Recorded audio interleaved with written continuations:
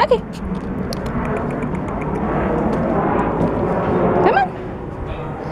Come on, fast. It's a good girl. Yay!